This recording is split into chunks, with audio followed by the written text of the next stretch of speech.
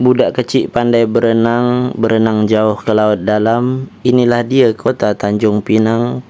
Kota digelar juga kota Gurindam.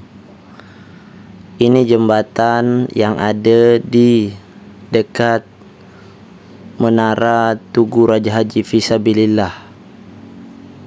Ini kita melihat suasana indah tepi laut di tahun 2022. Ini Tugu Raja Haji di depan sana ada gedung gonggong, tugu sirih emas. Sedangkan ini pula kita berada jalan-jalan di Dompak. Jembatan Muhammad Sani namanya. Termasuk jembatan terpanjang juga di Kepulauan Riau. Menghubungkan dari Ramayana Tanjung Pinang ke Pulau Dompak begitulah kurang lebih.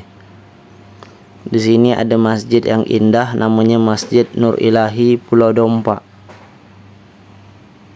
Dan di sini kalau kita maju lagi ada tugu yang bernama Provinsi Kepulauan Riau.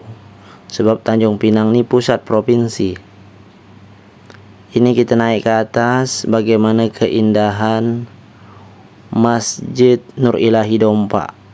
Kalau dari laut-laut Tanjung Pinang nampak menara yang tinggi Masjid Dompa ini.